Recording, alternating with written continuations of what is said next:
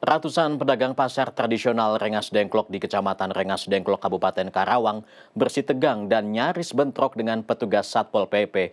Kericuhan terjadi saat pelaksanaan eksekusi terkait relokasi pasar Rengas Dengklok ke Pasar Baru Proklamasi.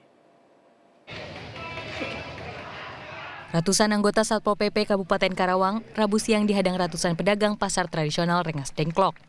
Para pedagang menolak eksekusi lapak mereka dan relokasi ke Pasar Baru Proklamasi.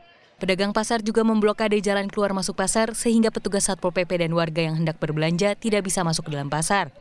Petugas Satpol PP pun sempat bersih tegang dengan pedagang pasar dan sempat menimbulkan kericuhan.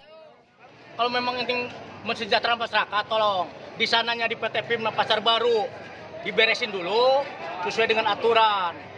Seperti apa harganya gitu kan. Tidak mungkin para pedagang itu menolak, yakin saya tuh. Penting jelas gitu. Yang jadi jadi apa beban masyarakat, para pedagang itu ada masalah harga gitu kan.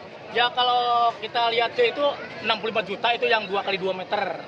Yang 3 kali 3 itu 300 lebih. Kalau kita lihat itu ya.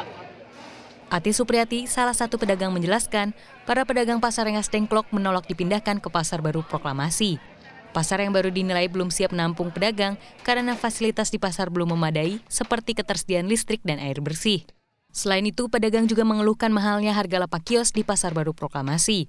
Untuk lapak berukuran 2 kali 2 meter dihargai 65 juta rupiah dan lapak 3 kali 3 dihargai 300 juta lebih. Pedagang pun memilih untuk tetap bertahan di pasar tradisional Rengas Dengklok. Meski sempat ricuh, kedua belah pihak berhasil menahan diri sehingga tidak berlanjut menjadi bentrokan. Mereka sepakat untuk diadakan mediasi untuk menemukan solusi. Rencananya, pasar Rengas Dengklok itu akan dijadikan ruang terbuka hijau dan taman untuk kegiatan warga. Tariana, Kabupaten Karawang.